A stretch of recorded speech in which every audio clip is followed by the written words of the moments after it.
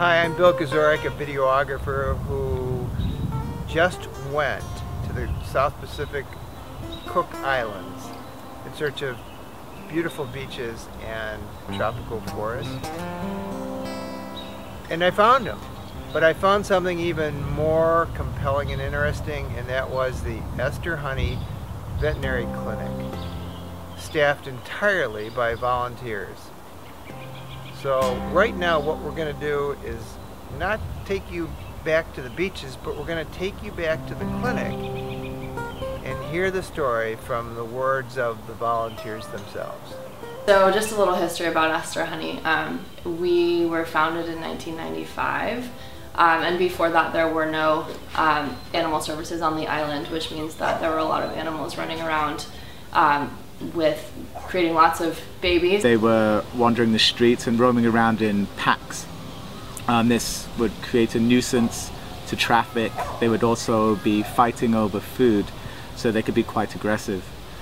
Um, also like spread of disease. Um, there was nothing here to help a dog when it was in trouble. So if you had a family pet, um, then there was nothing here to help them. And then that goes the same with cats as well, or any other animals, cows, um, pigs, goats. There wasn't really anything here.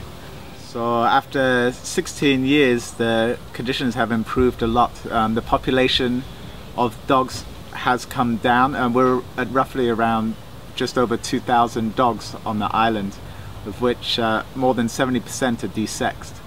Uh, this 70% is the level we were trying to get at to stabilize the population.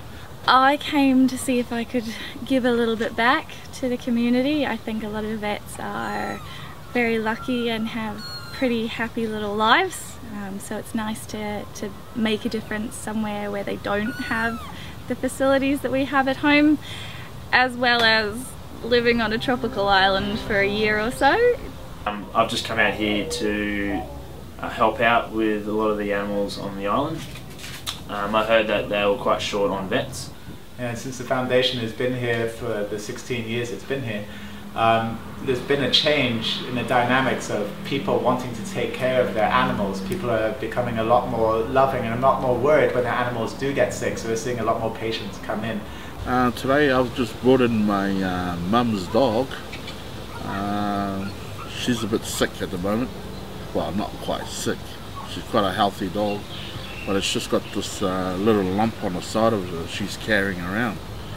Uh, I don't know how long she's had it for, but uh, you know, I didn't know what to do until you know somebody said, "Hey, there's a you know there's a, a clinic. Take her there, and they could have a look at it." Uh, I'm a volunteer. I am not a vet, so um, I get to be what we call an administrative role, which um, can be anything from getting to uh, just help out around the clinic to also um, to also being able to be a surgery assistant. Um, in Rarotonga, they get a lot of fish poisoning. Um, the fish in the lagoon sort of there's a dinoflagellate, and that produces a toxin which the larger fish eat and then if the dogs get hold of fish scraps because people have caught the fish and just discarded the brain or the guts and the dog gets into it. If Raina hadn't been brought into us, uh, it would have taken somewhere between days and weeks for her to slowly starve to death is the unfortunate truth of it. They can't move and they can't swallow so they can't eat. Uh, some really nice locals, if we weren't here, the only thing they could think to do would be to feed it but for weeks on end they would just slowly starve. The island is pretty incredible in a lot of other respects.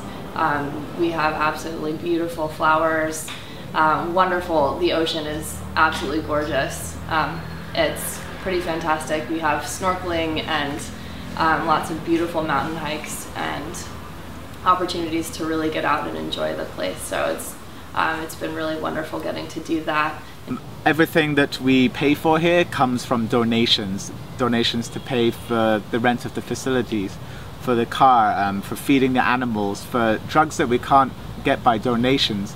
We need money for all of these things. Um, everything here is done by donations. Uh, on top of that, we need volunteers. We really need volunteer vets, um, but any kind of volunteers as just people to help out on day-to-day routine things. And because we don't have an X-ray machine, we aren't able to um, to X-ray and figure out where exactly the break is, which means that um, oftentimes we end up having to amputate the leg because that's the uh, most humane way of getting them out of the pain that they're in. It's so nice to feel like you're really making a difference because if we weren't here, they wouldn't have anything.